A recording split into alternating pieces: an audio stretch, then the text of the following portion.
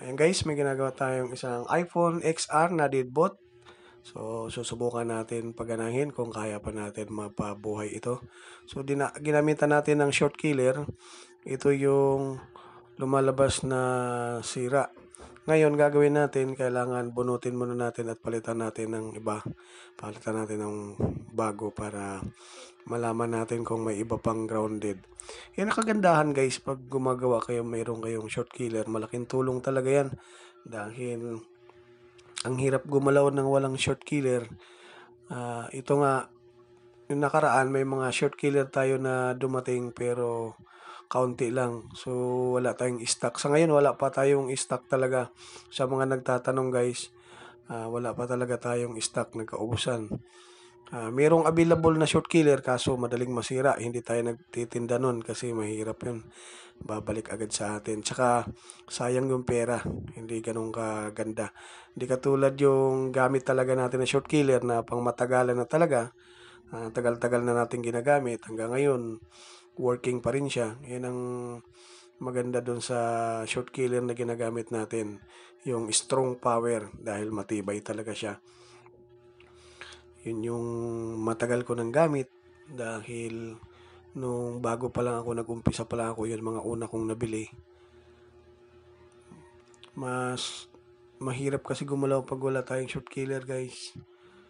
Ayan, pinalitan na natin. So kanina nung tinest ko sa short killer, ito ang lumalabas. Nilagyan ko ng rosin flux kaya nag-decide ako kung papalit, pinalitan ko. Ngayon mamaya titest natin yung sa capacitor sa may ta- bandang taas. Mamaya titest natin kung may mga grounded pa ba para sigurado. Titest natin yung ibang capacitor kung working siya o wala ng ground. Pag may ground, disable na lang natin. Ayan guys, lumamig na. So, mamaya, itetest natin yung ibang capacitor kasi para sigurado tayo. Eh, importante talaga yan guys na dito guys, yung mga kailangan test natin kung normal lahat. Lahat ng mga capacitor, tinetest ko talaga siya guys kung grounded pa o hindi para sure ball. Kasi may mga capacitor na mababa yung shorted, half shorted and half shorted to guys, kailangan disable natin para mag-normal na yung power. Yan. Hindi ko na pinapalitan yung mga ganito guys kasi support lang naman yan. Tinatanggal na lang natin.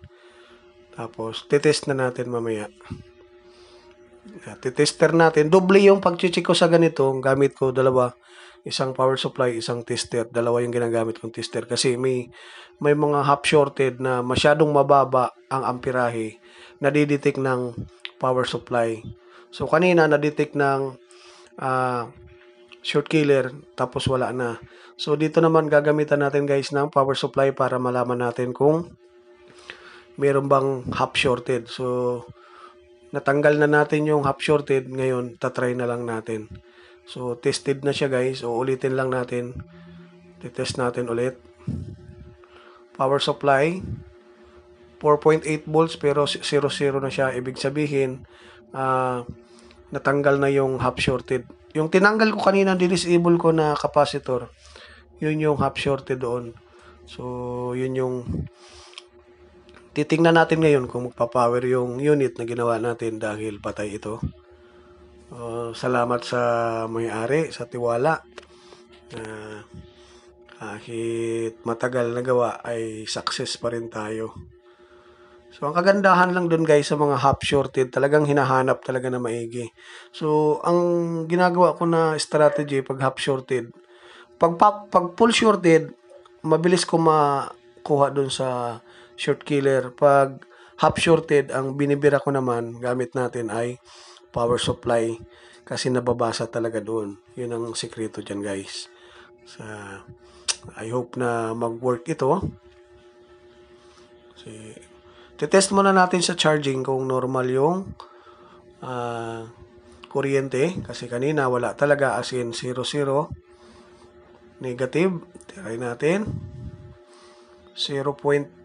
Ayos, 0.9. 1.0 na. O, 1.0. Ayos. Ayos na to guys. So, ibig sabihin, buhay na siya. Ah, ngayon tatanggalin natin. Ititest natin yung LCD para makita natin kung ah, mag-work talaga siya. So, patay ito kanina. Tatry natin sa LCD kung magkakaroon ba siya ng display. Ayan.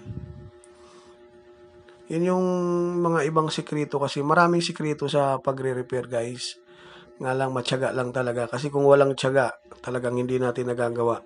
Yun ang pinaka ano matyaga kasi pag una yung iba halos di halos lumalabas ang sakit. Ayan, check natin. Ayun. Ayun, may display na. So, hindi pa natin naikabit yung battery. Try lang natin. So, ayan. Magbi-blink-blink lang to guys kasi wala yung battery, hindi nakasalpak.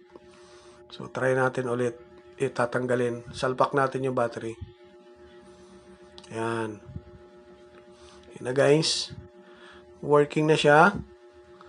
So, sa success yung ginawa natin, nakuha sa tiyaga. Ganun lang yung guys, tiyaga-tiyaga lang talaga siya para mahuli natin kung ano yung mga sakit na dapat hanapin. Yun yung ah, trabaho ng technician. Pag wala talagang tiyaga, hindi talaga natin nagagawa. Kaya pag sumuko ka kaagad, talo. Pero pag nakuha mo sa tiyaga, bibigyan mo talaga siya ng oras kahit matagal gawin. Yun nagagawa talaga siya guys. So, yun lang guys yung ano natin. ah, ginawa natin. Oh. See you in the next video ulit guys. Maraming maraming salamat.